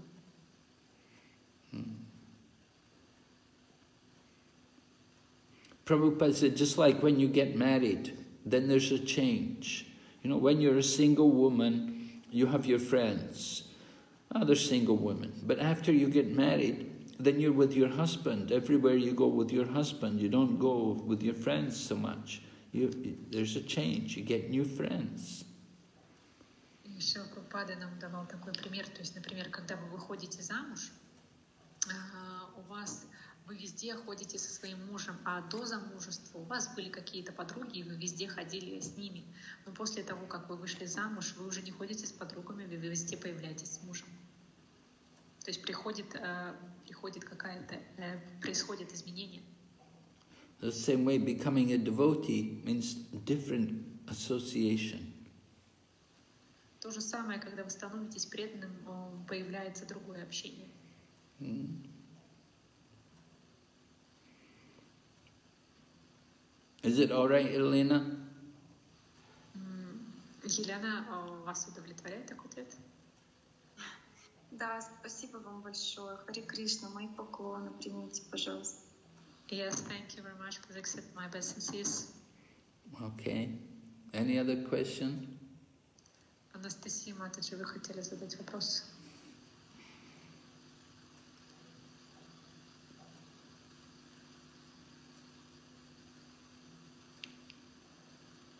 Матаджи?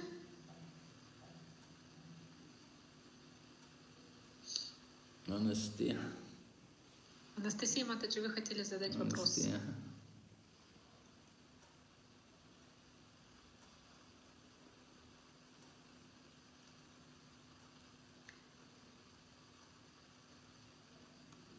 Not responding. Ага.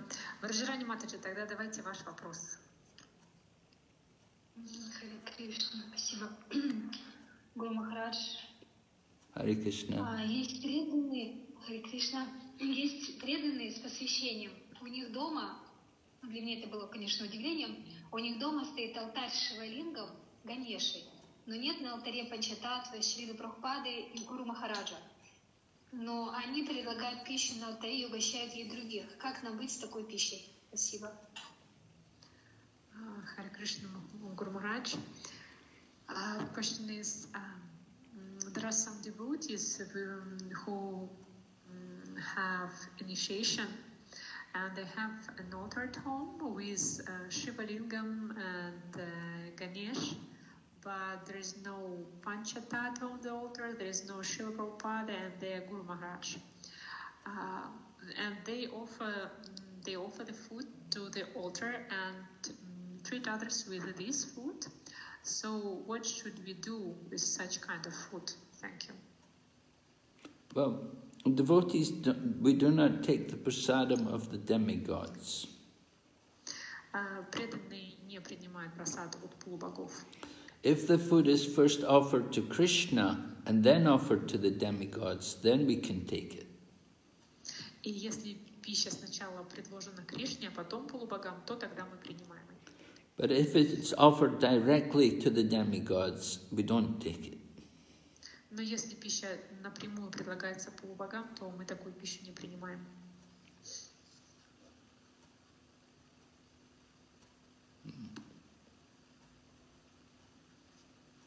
Okay? Спасибо, Харе Кришна. Thank you very much. Mhm. Анастасия Матаджи, попробуйте задать сейчас вопрос.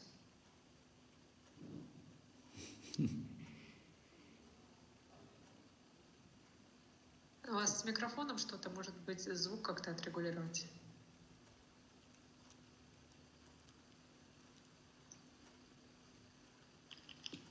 Просто я вас не слышу.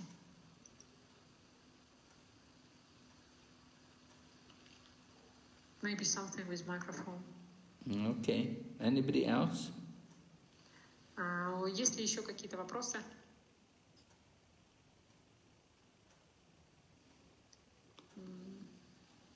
No questions? Okay. So then we'll finish then. As you wish. Unless No Anast- questions? No questions in the chat? Anastia, she's not responding. Yeah, just she's she's writing in the chat, but. uh, Oh, she's writing. Yeah, but she's no. No sound. Okay. If she writes in the chat, is, is there a question in the chat there from her? А, Анастасия Матаджи. Так, м, Анастасия Матаджи, вы можете попытаться в чате написать, пока сейчас Прабу задает свой вопрос. А, Да, Прабу. Мгм. Ваше Святейшество, вы на какой-то одной из прошлых лекций говорили, что чем дольше человек не принимает тона учителя, тем труднее ему потом это будет сделать.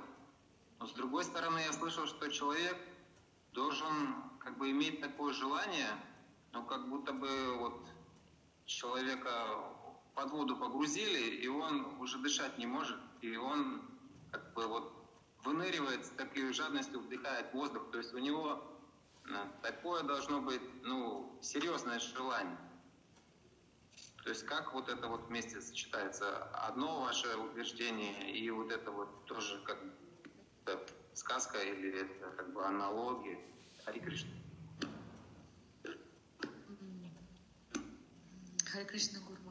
Accept my humble obeisances. Um, in one of the previous lectures, you told that um, if a person uh, doesn't mm, just accept spiritual master as um, for a long time, so um, it's uh, more difficult to do this. Uh, to do this, uh, and on the other side, mm, uh, there is a um, statement that uh, a person should uh, have so strong desire to accept spiritual master as, as for example, somebody puts him under the water and uh, he cannot to breathe. And uh, it's very difficult to him. And uh, where he when he just uh, mm, uh, have this an opportunity to have a breath of fresh air. So this desire to have to accept spiritual master should be like this. Uh, very very very strong. So how to um, how to uh, to practice these two two statements at, at the same time. Should be a strong desire but at the same time uh, as long as uh, a person doesn't accept spiritual master uh, as it's it, it becomes it becomes more difficult to him to accept uh, spiritual spiritual teacher Well, I don't know where he's getting these statements from. I've never come across these examples in the scriptures that I've read. Mm, just when when somebody just uh, put you under the water and Yeah, I never. go out, it's just one desire to have a breath. Yeah. Usually, that example is given in relation to enjoying the material world. That uh, you know, our enjoyment of the material world is like that. That you get the little breath of air, and then you're put back in the water again. You cannot breathe. And so, a lot of a lot of trouble for a very little bit of enjoyment. And the little bit of enjoyment is just being able to breathe air. And the rest of the time is so much suffering. Material life is compared to that. М, Я нигде в священных писаниях не встречал такого вот примера с погружением под воду. А в контексте принятия духовного учителя обычно этот пример приводится в отношении материальной жизни, подобно тому, как человек в материальной жизни, он выныривает и вот совершает этот глоток свежего воздуха. Таким образом, у него есть вот это вот мгновение понаслаждаться, и затем его снова запихивают под воду, где он э, страдает в материальной жизни, снова выныривает, снова глоток какого-то счастья, да, каких-то наслаждений и снова в страдания. And the other point about uh, you, if you wait a long time, then you may not it become more and more difficult the longer you wait.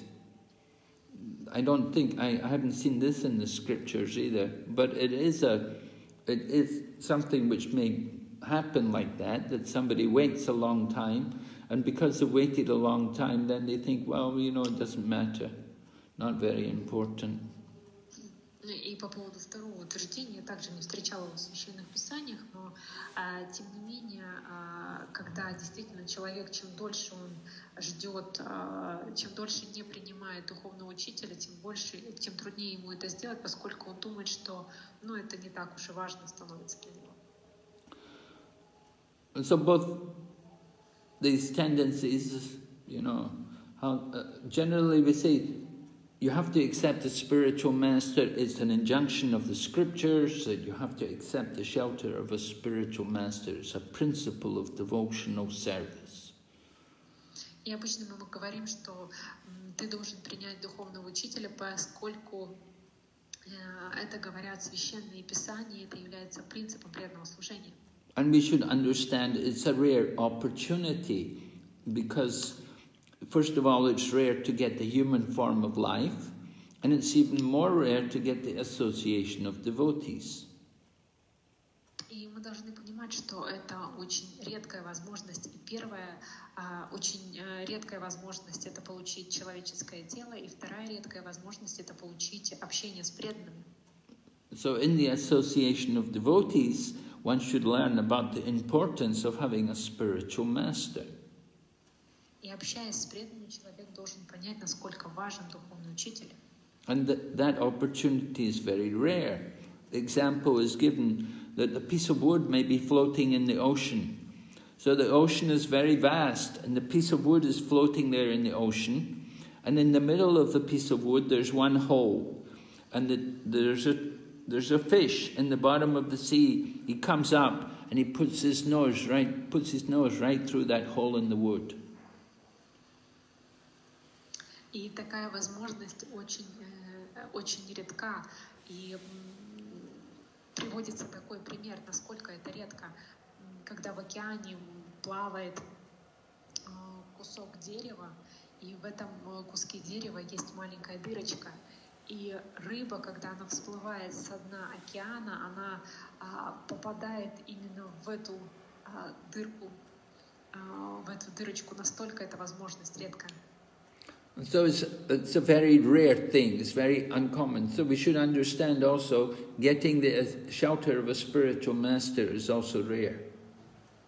То есть это очень редкая, необычная вещь. Мы также можем, м, должны понимать, что общение с духовным учителем — это очень редкая вещь. But generally, spiritual master, he doesn't mind if you don't take initiation. He's happy, he, he doesn't mind. He, he's, he just wants to do his own sadhana.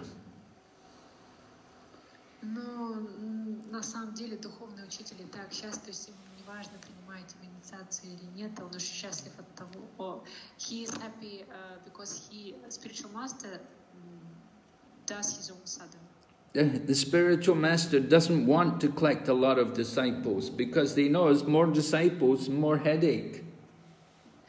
Но на самом деле э, духовный учитель и так счастлив заниматься просто своей собственной саданой, поскольку э, он не испытывает огромного счастья от, от э, коллекционирования большого количества учеников, поскольку чем больше учеников, тем больше головной боли.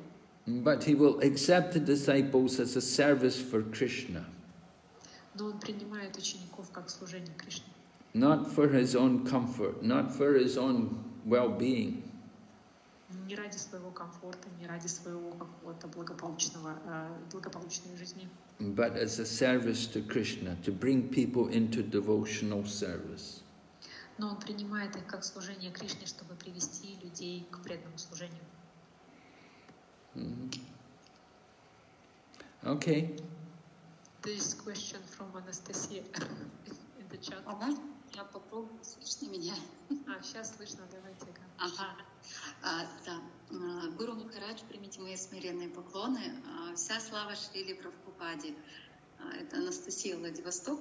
У меня, знаете, вот мы сегодня обсуждали в «Нектаре преданности» тему, а, что преданный, он не должен причинять насилие, беспокойство другим живым существам.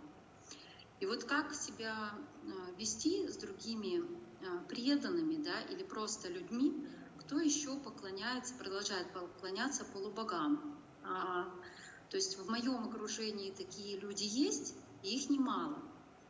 И как, как быть в данной ситуации, чтобы и не обидеть человека, не оттолкнуть его, но при этом давать ему какую-то такую поддержку. То есть, но и также не заражаться вот этим вкусом, его вкусом, потому что мы же обмениваемся вот этими а, вкусами.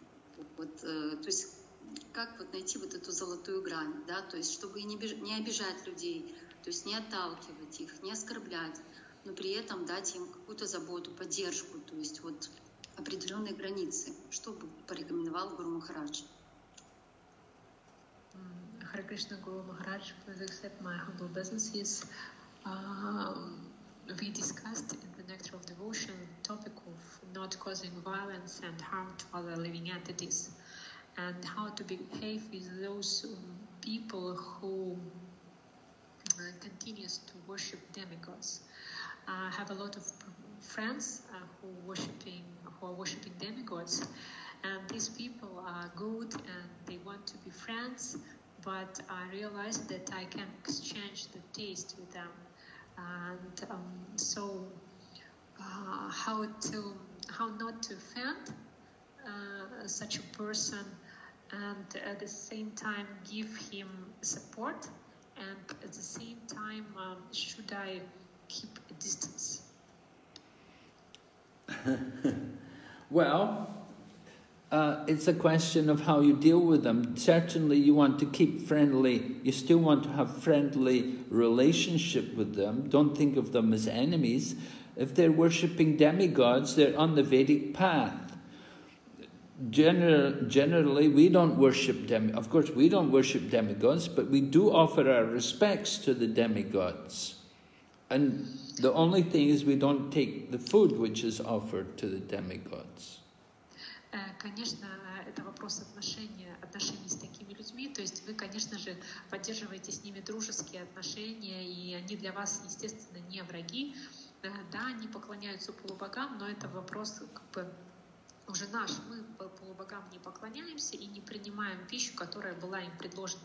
Но все-таки эти люди находятся на ведическом пути. We hope that gradually these people who worship demigods will understand the temporary nature of the result of demigod worship. То есть мы э, надеемся на то, что постепенно такие люди поймут временный результат э, поклонения полубогам. And then they will come to worship Krishna. И затем они приходят к поклонению Кришне. Okay? So, yeah, you can keep some connection with these people, but you don't want to uh, get too intimate, too much friendship with them because they are, they're not devotees. They're not devotees of Krishna, they're devotees of demigods, right? They're different. Да, вы можете поддерживать э, с такими людьми какие-то дружеские отношения, но не слишком в эту дружбу вовлекаться, поскольку они не являются преданными, не являются преданными Кришне, они же поклоняются полубогам.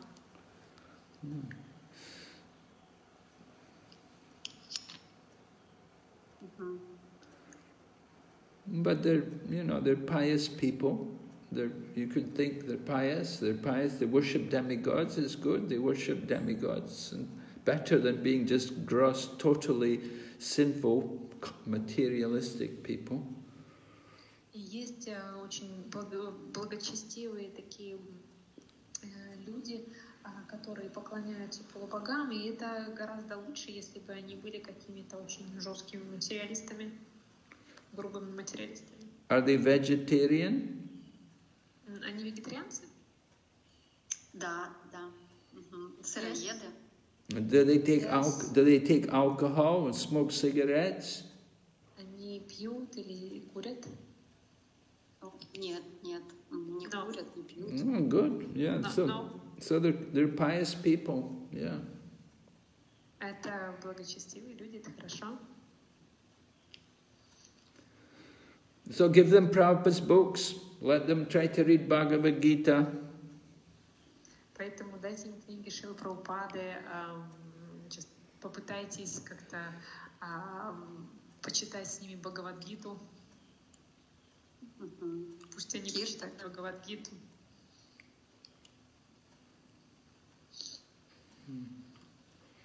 Okay, so Да. Да, я еще, знаете, хотела вот, э, сказать, что про косвенную проповедь э, в защиту наших проповедников э, в России, потому что один из таких проповедников — это Аутхаря Дхама Прабу, и благодаря ему очень многие преданные в Исхон приходят и становятся серьезными преданными, которые постигают путь Бхакти в дальнейшем. Для, для Махараджа хотела донести это. I just want to say about indirect preaching. Mm, For example, we have uh, Audarya Dhamma Prabhu, just uh, uh, who uh, give such kind of lectures. Mm, He is uh, Ayurvedist uh, doctor, and so he gives such kind of lectures. But uh, due to him, there are a lot of people who ca- who came to our movement and became good became good devotees. yeah, definitely some benefit can come from it. If this, if the devotee is very serious and conscientious, he can bring people to Krishna consciousness. That's the real purpose of the indirect preaching. It's to bring people into Krishna consciousness. И э, в этом это очень хорошо, в этом и есть истинная цель э, косвенной проповеди, если этот преданный очень сосредоточенный, очень э, строг в своей, в своей в своей практике, то он мог, может приводить людей в сознание Кришны. В этом и, и есть цель косвенной проповеди. Okay. Да, я, кстати, одна из таких вот джив, которые пришли через косвенную проповедь. I'm one of those Who came to Krishna consciousness through uh, indirect preaching. Oh, really? No, very good. ah, see. All right, yeah, we're not against anybody doing indirect preaching. You just have to be careful you don't get too much affected by it. And there has to be also some direct preaching as well. Uh,